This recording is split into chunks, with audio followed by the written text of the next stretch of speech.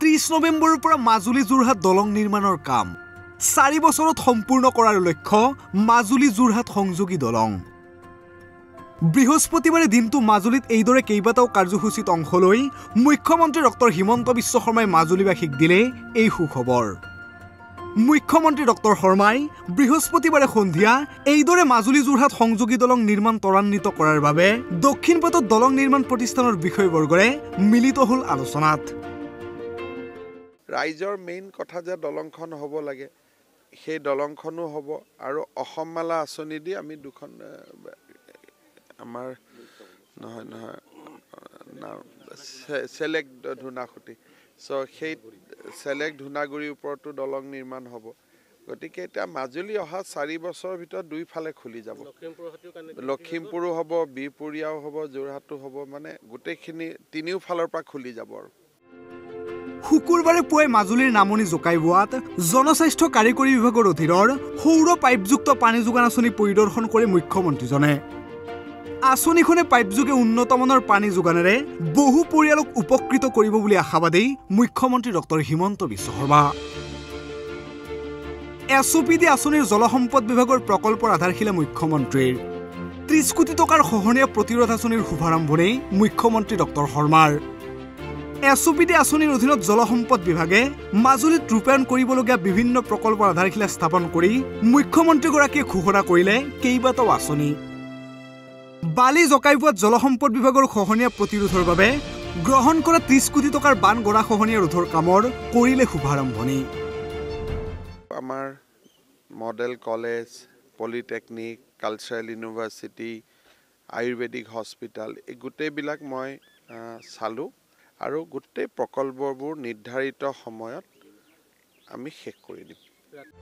মাজুলীৰ খহনীয়া ৰোধৰ বাবে অতিৰিক্ত ত্ৰিছ কোটি টকা ঘোষণা মুখ্যমন্ত্ৰীৰ। চলিত মাহতে ত্ৰিছ কোটি টকাৰ বিশেষ পেকেজ মুকলি কৰিব চৰকাৰে। মিছামাৰা অঞ্চলৰ সোৱান সোৱণশিৰি নদীৰ বাওঁ পাৰৰ গৰাখহনীয়া প্ৰতিৰোধৰ বাবে দহ কোটি টকা অনুমোদন কৰিছে। এই গাঁওখন বালি জকাইবোৱাত খেৰকটীয়া নদীৰ বাওঁ পাৰৰ গৰাখহনীয়া প্ৰতিৰোধৰ বাবে দুই কোটি ষাঠি লাখ। লুইতঘাট অঞ্চলত খেৰকটীয়া নদীৰ বাওঁ পাৰৰ গৰাখহনীয়া প্ৰতিৰোধৰ বাবে দুই কোটি ত্ৰিছ lakh. S D R F আঁচনিৰ পৰা জেংৰাইমুখৰ পৰা পকাজৰালৈ থকা খেৰকটীয়া নদীৰ বাওঁ পাৰৰ মথাউৰিৰ বাইছশ মিটাৰ সবলীকৰণ দুই কোটি পঞ্চাছ লাখ। ব্ৰহ্মপুত্ৰৰ মথাউৰিৰ বনগাঁও তিনি হাজাৰ পাঁচশ মিটাৰ সৰলীকৰণ দুই কোটি পঞ্চাছ লাখ। ব্ৰহ্মপুত্ৰ মথাউৰিৰ জাবৰ চুকত থকা চেক বান্ধটোৰ মেৰামতি দুই কোটি বিছ লাখ। দক্ষিণ আহতগুৰি অঞ্চলৰ ন মাটিৰ গৰখীহন গৰাখহনীয়া নিয়ন্ত্ৰণ তিনি কোটি নিৰান্নব্বৈ লাখ। ব্ৰহ্মপুত্ৰৰ মথাউৰিৰ কেংমেলি অঞ্চলত জিঅ' বেগ এক কোটি পঁয়ষষ্ঠি লাখ। মলয়া চাপৰি অঞ্চলৰ সোৱণশিৰি নদীৰ গৰাখহনীয়া নিয়ন্ত্ৰণ অষ্টাশী লাখ।